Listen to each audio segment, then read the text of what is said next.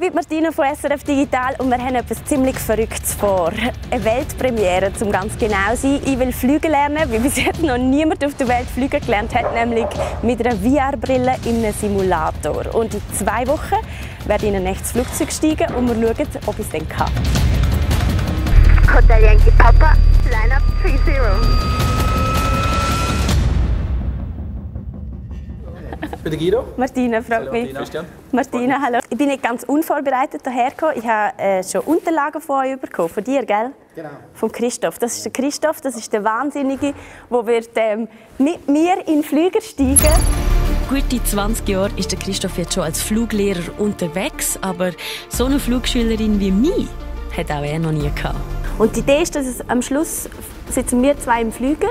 Du startest, oder? Das mache nicht ich. Du startest. Ich starte. Nein, die Idee ist, dass, dass du dass du eine ganze Platzrunde kannst fliegen kannst. Mir wird so langsam aber sicher klar, Okay. auf was ich mich hier einlassen.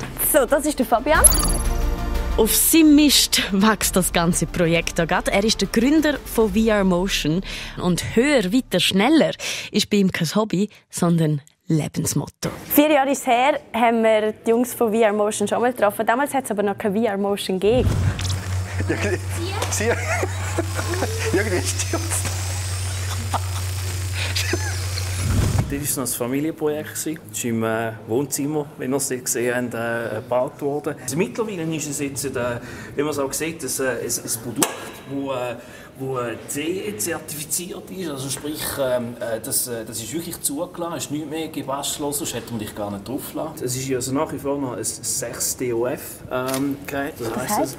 es sind äh, die sechs Freiheitsgrade. Also du hast äh, auf, neben, links, rechts, vorne, hinten. Das sind die linear und dann alle, äh, die sich drü- drüllen. Äh, was wir jetzt äh, speziell machen, ähm, wir haben uns jetzt eigentlich äh, ein bisschen wegbewegt äh, von äh, Beschleunigungen simulieren, also schon indirekt Beschleunigungen, aber äh, wir äh, tun uns recht aus, äh, aus dem Modell vom Innen an ähm, äh, fokussieren. Durch das wird es eben auch äh, viel besser und auch den Leuten weniger schlecht. Äh, Ja. Was äh, ganz speziell bei, bei VR und bei VR natürlich ein Problem ist. Nach wie vor die Plattform, die läuft mit 230 Volt. Das ist immer noch Wohnzimmer tauglich. Und äh, wir haben jetzt viel mehr Kippwinkel. Das sieht man auch an diesen Konstruktionen da unten. Die sind jetzt total optimiert, alles durchgerechnet. Und was läuft da oben? Das ist eigentlich alles Show, oder? Das könnte alles so weggelassen werden. Ja, ganz, ganz neu. Also es ist richtig, durch das, dass wir VR haben, äh, sieht man jetzt, es sind viele Komponenten eigentlich äh, nur noch als 3D, dass man es noch spürt, oder? Hat aber auch äh, fun äh, funktionierende Sachen, oder? Wie jetzt zum Beispiel, äh, ich weiß nicht, das ist ja selber gelernt, oder? Throttle. Das Throttle, genau. Und äh, was ist das? Den kenne ich noch nicht. Das, das ist der Mixer, mit dem wir Ah. das Luftmisch äh, einstellen. Ja, ja. Das ist auch das ist ganz cool, original, wie in der Cessna, musst du es mal anschauen. Äh, Was halt auch noch dazu kommt, äh, wenn man es gerade anschaut mit diesen äh, Simulatoren, das ganze Visual. Ich meine, wenn du vorne Bildschirm hast Mhm. Und äh, nachher dann äh, irgendwie willst, äh, auf der Seite schauen, wo jetzt die Piste ist oder so, da ist keine Chance, Ja. mit drei, vier oder fünf Bildschirmen. Ja. Wie viel kostet das, was da steht? ja, ist eine gute, ist eine gute Frage. Also zuerst mal muss man sehen, äh, bei ähm, professionellen, grossen Flugsimulatoren hast du meistens eine Crew drin. Da, da musst du mehrere Maschinen haben. Aber äh, trotzdem, ich meine, da sind wir in einem Faktor 100, äh, wo man äh, günstiger ist. Was dann auch noch eben im professionellen Bereich und durch das dass die Plattformen dann sehr, sehr äh, groß sind und schwer oder den ganzen Tonnen bewegst, kommst du über die feinen Bewegungen gar nicht über.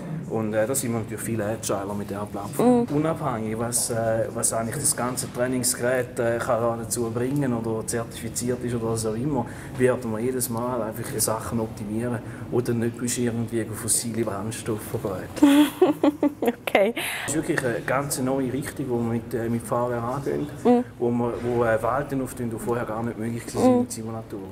Wie hat man denn vorher fliegen gelernt? Also wie hast du fliegen gelernt? Ja, nicht mit so etwas, oder? Ja, also wir haben in der Flugausbildung damals im, im 99, äh, bist du auch gar nicht auf der Wahl gewesen?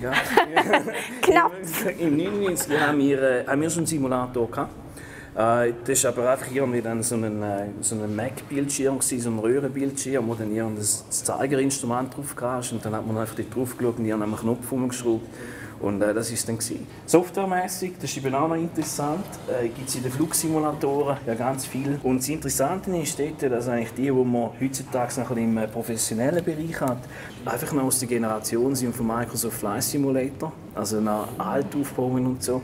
Und da haben wir mit Aerofly, das ist eine deutsche Firma äh, von Apex, haben wir äh, eine Software gefunden, die von Physikern gemacht sind. 25 Jahre Erfahrung äh, in, der, in dem ganzen Ding rein, haben ihre Game Engine selber gemacht.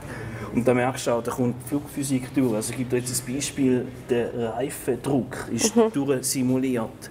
Die sind wirklich einfach dort eine Meile weit voraus und sind auch äh, die erste, ist auch die erste Flugsimulator-Software, die kannst, ähm, mit einem einigermaßen Game, äh, Gamer-PC mit VR überhaupt machen. Was ist das? Nicht. Ähm, das ist einfach das Strom. Ist, äh, mal, das ist das Bedienerpanel. Äh, Rein von der, von der Maschine her müssen wir extrem aufpassen, wenn eine Person drauf sitzt und nichts sieht, dass nichts passiert. Und darum haben wir, ist das Operator-Panel, dass man nicht dort abschaltet. Okay. Und fliegen können und fliegen dürfen sind ja zwei Sachen. Das ist richtig. Fliegen können, das ist wie, dass du, wenn du kannst, äh, Auto fahren dann musst du das können bedienen und musst es können auf der Straße behalten. Äh, Im Flug ist es ein bisschen gröber dran. Musst du ja den Flüger dann auf die Piste können setzen, das ist eine Dimension mehr und so. Äh, da sind wir überzogen, dass du das wirst machen. es geht dann natürlich dann einen, einen Schritt weiter. Du musst ja dann auch noch sehr viele Theorieprüfungen machen. Und äh, wenn es dann eben in den Navigationsbereich geht, äh, die ganze Meteo, alles Wetterzeugs, äh, menschliches Leistungsvermögen, das sind einfach noch Sachen, die dort dazukommen.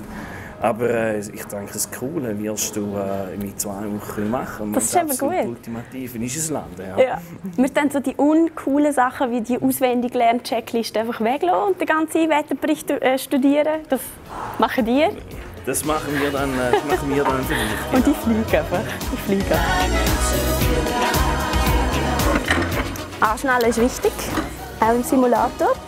Safety first. Dank meinem Theorieordner kommt mir zum Glück das ein oder andere schon bekannt vor, aber generell fange ich wirklich ganz von vorne Was, an. müssen die, was machen die rechts und links? Genau. Ah, das ist in die Kugel treten. Ja, genau. Mhm. Beim, äh, beim Auto steuerst du da Ja. am Boden und beim Flüger steuerst du mit den Fußpedalen. Und da gibt man Gas. Und da gibt man Gas. Okay. So. Oh Gott, ich komme schon schräg. Also schau jetzt, machen wir mal, äh, wie Controls funktionieren. Ja. Ich lang da mal. Jetzt fühlst du rechts um. Jetzt siehst du, macht er eine Rechtskurve. Dann Jawohl. rollt er Oh. auf Längsach. So rollt er auf die andere Seite. Okay. Wenn du hinterher ziehst, Ja. dann Gehen wir aufwärts? Und wenn du vorne stehst, geht es runter. Ja. So weit, so gut. Genau. Lookout, keine anderen Flüger umeinander. Ist gut. Hi. Hi, du. Gell, ich bin eine gute Schülerin.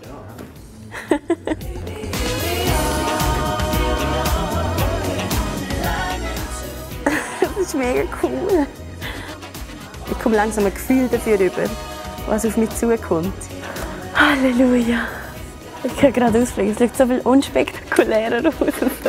Ich habe das Gefühl, ich schaffe es, bis so in zwei Wochen fliegen zu lernen. Nicht mich wundern, ob ihr das Ende seht. Ihr könnt es auf jeden Fall äh, mitverfolgen.